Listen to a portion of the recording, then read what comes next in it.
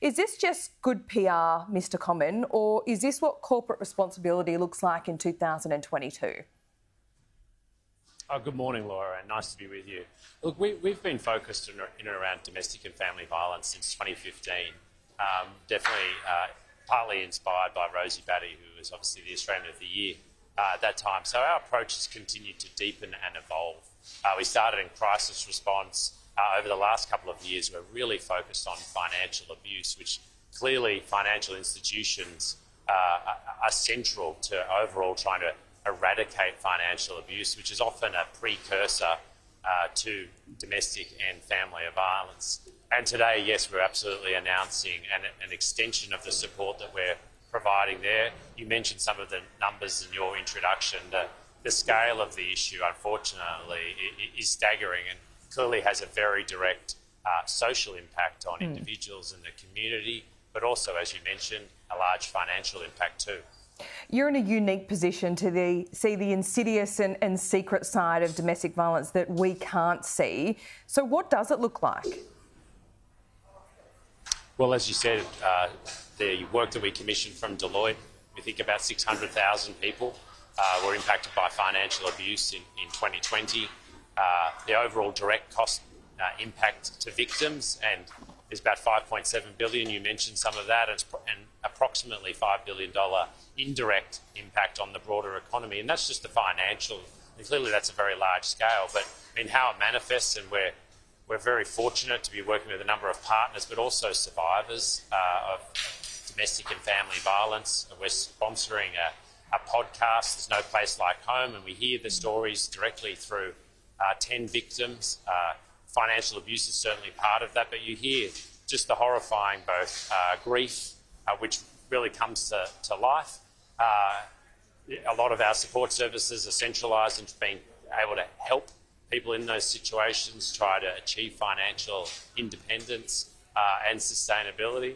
We've also made investments in technology over the last few years to both identify and intercept any messages that might be being sent along with financial payments. You, are familiar when you're sending a payment to someone else on your mobile banking app, there's a, often a description field. Well, to our horror, we discovered uh, a couple of years ago that there was actually a, you know, a large number, more than 100,000 messages uh, that could be considered uh, absolutely abusive. And so we've trained uh, sort of our technology to help identify, intercept, prevent, and as you would expect, we work with law enforcement where appropriate around some of that uh, information and evidence.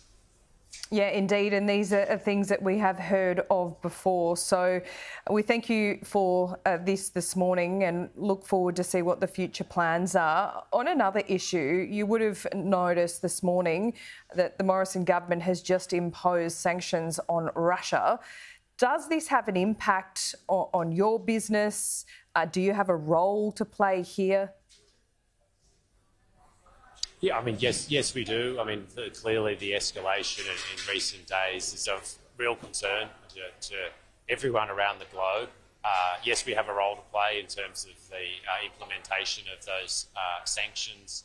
Uh, I mean, Russia itself is not a very large trading partner, but clearly uh, the escalation of events, the geopolitical risks, there's going to be real volatility uh, in a number of markets. We expect to flow through impact into into oil prices and, as you said, uh, sanctions and, and, potentially beyond that. So, as you would expect, we work closely uh, with government uh, during times like this to, to understand and, of course, implement the appropriate sanctions, and uh, we'll continue to to, to watch uh, very closely and with some concern, which I'm sure is mm. shared by many of your viewers. And Mr. Comyn, we've he- already heard from the Prime Minister that businesses in Australia could expect retaliatory cyber attacks uh, from Russia because of these sanctions. Is that something you are prepared for or worried about? It's certainly something we're worried about. I think if you uh, one of our absolute key risks is around uh, cyber and, and, and the threat from that. I mean, clearly that has really emerged and grown globally. Uh, and of course, in times of geopolitical uh, uncertainty, uh, the risk profile around cyber attacks uh, to business uh, go up you know, quite significantly. So mm. it's certainly something that we've uh, tried to um, prepare for, but it's, uh, it's, it's a very real and significant risk, and it's something certainly that we and, and government and, and, many critical industries mm. are appropriately focused on.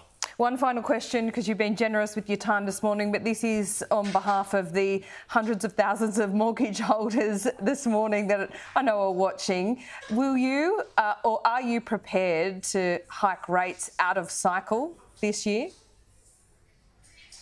Well, as you probably expect, Laura, I wouldn't speculate on, on you know, pricing changes. Thought you might say legal restri- restrictions around that, but I, look, I think more broadly, and we covered this quite extensively as part of our results, we, we do anticipate we're optimistic and positive about the outlook for the Australian economy, and we think you know mid this year uh, interest rates uh, are likely to increase based on the uh, the current economic momentum. Matt Comyn, thanks so much for your time.